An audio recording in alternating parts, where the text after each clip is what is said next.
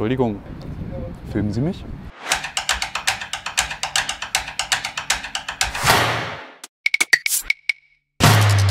Herzlich willkommen zu einem neuen Video von Raumstation Friends. Heute mal in etwas anderer äh, Montur.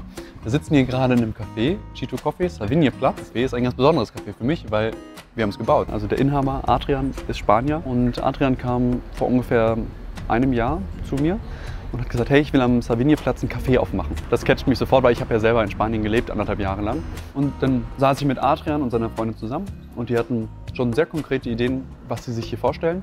Das hat mir im Endeffekt auch wirklich sehr gut gefallen. Und zwar ist es ja so, dass wir traditionelle Küche und traditionelle Delikatessen aus Spanien mit einem modernen Stil jetzt verknüpfen. Ich denke, das ist auch sehr gut gelungen. Wir haben unter anderem Eicheleisten am Tresen gearbeitet, die von oben angeleuchtet werden. Wir haben dazu eine dunklere Arbeitsplatte verwendet aus Räuchereiche, die das Ganze so ein bisschen abhebt. Die Möbel sind grundsätzlich innen immer schwarz.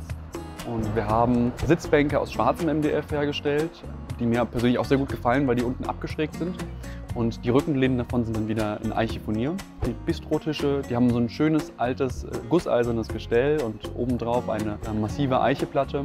Ich finde, das ganze Konzept ist sehr stimmig geworden und zu alledem haben wir auch die Lichtplanung gemacht in dem Laden hier. Also wir haben Adrian beraten, was für Lichter wir einsetzen würden, um dezente Beleuchtung oder punktuelle Beleuchtung zu schaffen und damit Stimmung zu erzeugen in der Räumlichkeit. Jetzt sitze ich hier, ähm, ein paar Monate später und trinke hier total gerne meinen Kaffee und bin total glücklich darüber, dass wir das gemeinsam abgewickelt haben. Über unser Friends-Netzwerk äh, konnten wir dem Adrian auch eine tolle Firma vermitteln, die dann im Außenbereich die Leuchtreklame erstellt hat oder die Markise anmontiert hat und auch die Beschriftung in den Fenstern. Das kam alles über unser Netzwerk, die Friends. Und äh, im Endeffekt haben wir eigentlich ein ziemlich rundes Beispiel, wie toll so ein Projekt und wie freundschaftlich so ein Projekt laufen kann.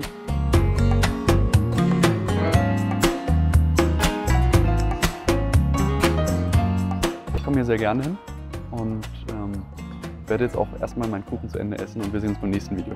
Hat mich gefreut. Bis bald.